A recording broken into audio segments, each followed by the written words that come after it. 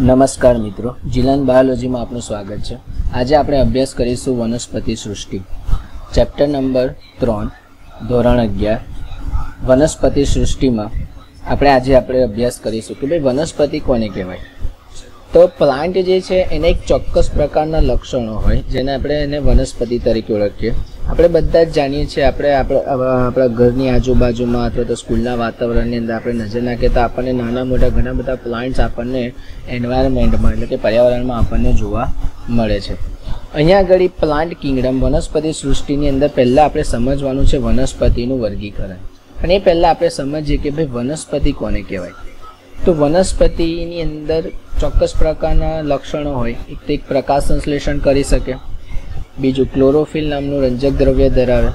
તેની જે કોષ દિવાલ જે છે, એ ખાસ કરીને સેલ્યુલોઝની બનેલી હોય. તેના પ્રજનન કરવાના જે અંગો જે છે, એ બહુકોષીય હોય અને અમુક જે અંગો હોય છે, એ આવરિત હોય છે, અમુક ખુલ્લા પ્રકારના હોય છે. બરાબર છે? તો આ એના સામાન્ય વાત હતી. પરંતુ વનસ્પતિ જે છે, એના વર્ગીકરણની આપણે વાત કરીએ, તો વનસ્પતિ સ્થળની દ્રષ્ટિએ આપણને બે પ્રકારે જોવા મળે. એક છે જલજ, એટલે કે એક્વેટિક અને બીજી છે સ્થળજ, એટલે કે લેન્ડ ઉપર, જે જમીન ઉપર ઉગતી વનસ્પતિ છે તે.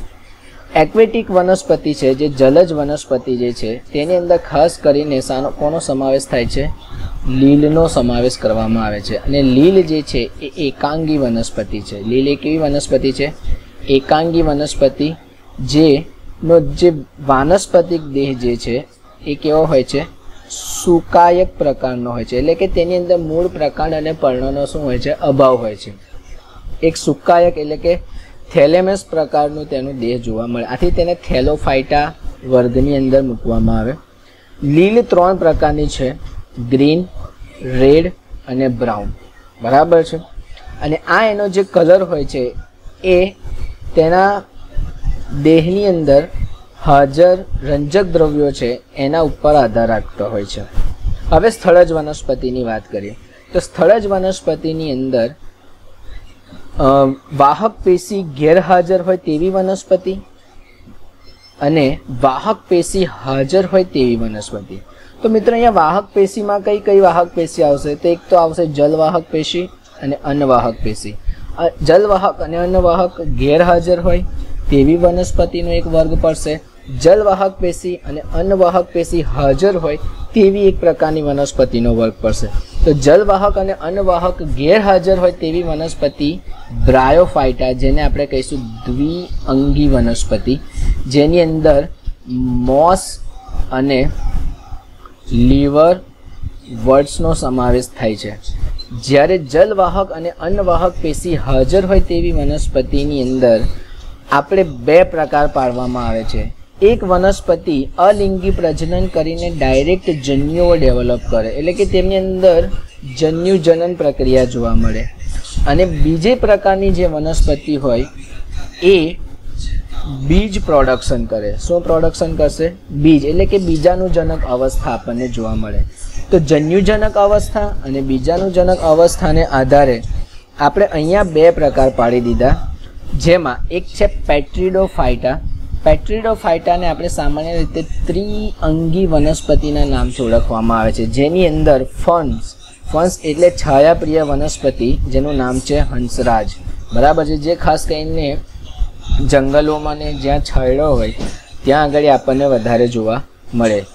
ત્યાર પછી સીડ પ્રોડક્શન કરતી વનસ્પતિ એટલે કે બીજ પ્રોડક્શન કરતી વનસ્પતિ જેને સ્પર્મેટોફાઇટા નામના તરીકે ઓળખવામાં આવે છે. અને આ સ્પર્મેટોફાઇટાની અંદર એક આવે છે જિમ્નોસ્પમ અને બીજું આવે છે એન્જિયોસ્પમ જિમ્નોસ્પમને આપણે કહીશું અનાવૃત બીજધારી વનસ્પતિ અને એન્જિયોસ્પમને આપણે કહીશું આવૃત બીજધારી વનસ્પતિ. અનાવૃત બીજધારી વનસ્પતિ કોને કહેવાય? કે જેનું જે બીજ છે એ બીજ ખુલ્લું હોય. એટલે કે તેના ઉપર કોઈ પણ પ્રકારનું આવરણ શું હોય છે? ખુલ્લું દેટ મીન્સ કે આવરણની શું હોય છે? આવરણ ગેરહાજર. નગ્ન પ્રકારના બીજ જોવા મળે અનાવૃત બીજધારી વનસ્પતિના. જ્યારે આવૃત બીજધારી વનસ્પતિની અંદર એનું જે બીજ હોય છે, એ ચોક્કસ પ્રકારના ફલાવરણ વડે શું હોય છે? ઢંકાયેલું હોય છે. એટલે કે એક પ્રકારના આવરણ વડે ઢંકાયેલું હોય. આથી તેને જેકેટેડ સીડ કહેવાય. અને પેલાને નોન જેકેટેડ સીડ કહેવાય. જેકેટેડ સીડ એટલે આવૃત બીજ હોય. જ્યારે નોન જેકેટેડ એટલે અનાવૃત બીજ હોય. બરાબર છે? ત્યારબાદ, આપણે આગળ વાત કરીએ. તો જે પ્લાન્ટ જે છે પ્લાન્ટને બીજના પ્રોડક્શન અને બીજ પ્રોડક્શન ના કરતા હોય. એટલે કે બીજનું પ્રોડક્શન કરે, બીજ ઉત્પન્ન કરે બીજ ઉત્પન્ન ના કરે તેવા બે ભાગની અંદર વિભાજિત કરવામાં આવે છે. જેને એક ભાગ જે છે એને કહેવાય ક્રિપ્ટોગેમ્સ અને બીજો એનો જે વર્ગ છે એને કહેવાય ફેનોગેમ્સ અથવા તો સ્પર્મેટો ફાઇટા તો જે ક્રિપ્ટોગેમ્સ જે છે નોન સીડ પ્રોડ્યુસિંગ, પ્રોડક્શન, મતલબ કે આ લોકો જે છે એ બીજ ઉત્પન્ન કરતા નથી. ક્રિપ્ટોગેમ્સ જે છે એ બીજ ઉત્પન્ન કરતા નથી. અને તેમના જે સેક્સ ઓર્ગન હોય છે, એટલે કે જનન અંગો જે હોય છે, એ ઇનવિઝિબલ હોય. ઇનવિઝિબલ એટલે અદ્રશ્ય, આપણે જોઈ શકતા નથી. જ્યારે સ્પર્મેટો ગેમ્સની અંદર આપણે જનન અંગો જોઈ શકાય છે. આપણે જોઈ શકીએ છીએ. મતલબ કે વિઝિબલ હોય છે. અને આ લોકો બીજ ઉત્પન્ન કરે. આ શું કરે? બીજ ઉત્પન્ન કરે. જ્યારે અહીંયા બીજ ઉત્પન્ન થતું નથી. તો તેવા, તેવી જે વનસ્પતિ છે, એને આપણે અહીંયા ત્રણ ભાગની અંદર વિભાજિત કરીશું. એક છે થેલોફાઇટા દેટ મીન્સ એકાંગી વનસ્પતિ. જેની અંદર આપણે કોનો સમાવેશ કર્યો છે? લીલનો સમાવેશ કર્યો છે. ત્યાર પછી બીજી જે વનસ્પતિ જે છે, એ છે બ્રાયોફાઇટા એટલે કે દ્વિઅંગી વનસ્પતિ. જેની અંદર આપણે મોસ અને લીવર વર્ડ્સનો સમાવેશ કરવામાં આવે છે. જ્યારે ત્રીજી વનસ્પતિ છે, ત્રિઅંગી વનસ્પતિ, જેની અંદર આપણે સમાવેશ કરીશું હંસરાજ. બરાબર છે, ફંસ. અચ્છા, અને એકાંગી કેમ કહેવાય? તો તમને ખબર પડી ગઈ કે કોઈ પણ એક અંગ હાજર હોય. એનો જે દેહ જે છે, સુકાયક પ્રકારનો હોય. દ્વિઅંગીની અંદર મૂળ પ્રકારને પર્ણ પૈકી કોઈ પણ બે વસ્તુની હાજરી જોવા મળે. અને ત્રિઅંગી વનસ્પતિમાં ત્રણે ત્રણ અંગોની હાજરી જોવા મળશે. જ્યારે સીડ પ્રોડ્યુસિંગ જે વર્ગ છે, જેની અંદર આપણે બે ભાગ પહેલે જોઈ ગયા કે અનાવૃત બીજધારી વનસ્પતિ, આવૃત બીજધારી વનસ્પતિ. અનાવૃત બીજધારી વનસ્પતિનું જે બીજ હોય જે છે, એ નેકડ નેકેડ હોય, એટલે કે બીજ કેવા હોય છે અહીંયા? ખુલ્લા પ્રકારના, કોઈ પણ પ્રકારનું આવરણ આપણને જોવા મળતું નથી. જ્યારે અહીંયા આગળ બીજ કેવા પ્રકારના હોય છે? બીજ જે છે, આવરણ વડે ઢંકાયેલા હોય એટલે આવરણ વડે બંધ પ્રકારના હોય. બરાબર છે? તો અહીંયા પણ બે પ્રકાર પડશે. એક છે મોનોકોટ અને બીજો છે ડાયકોટ મોનોકોટની અંદર આપણે વાત કરીએ કે એક દળી વન બીજ, એક દળી બીજ અને ડાયકોટ દેટ મીન્સ દ્વિદળી બીજ. હવે એક દળી બીજની અંદર શું હોય છે? કે ભાઈ એક જ આપણને શું જોવા મળે? બીજપત્ર જોવા મળે. જ્યારે દ્વિદળીની અંદર આપણને બીજપત્રની સંખ્યા કેટલી જોવા મળે? દ્વિદળીમાં બીજપત્રની સંખ્યા આપણને બે જોવા મળે. તો મિત્રો, આ થઈ આપણે વર્ગીકરણની વાત. બરાબર છે? કે વનસ્પતિનું જે વર્ગીકરણ આપણે જો કરવામાં આવે, તો વનસ્પતિ જે છે, સામાન્ય રીતે જમીન પર રહેતી વનસ્પતિ, પાણીમાં રહેતી વનસ્પતિ. પાણીમાં બેઝિકલી આપણને લીલ પ્રકારની વનસ્પતિઓ જોવા મળે છે. બરાબર છે? કેટલીક લીલ જે છે, ખાસ કરીને સૌથી વધારે આપણને લીલ જોવા મળે, એકાંગી વનસ્પતિ, જેને આપણે થેલો, થેલોફાઇટા કહીશું. ત્યાર પછી સ્થળજની અંદર આપણે જઈએ, તો સ્થળજ પર ઉગતી વનસ્પતિમાં પણ આપણે બે ભાગ જોયા કે ભાઈ એક જન્યુઓનું નિર્માણ કરતી વનસ્પતિ, એક બીજનું નિર્માણ કરતી વનસ્પતિ.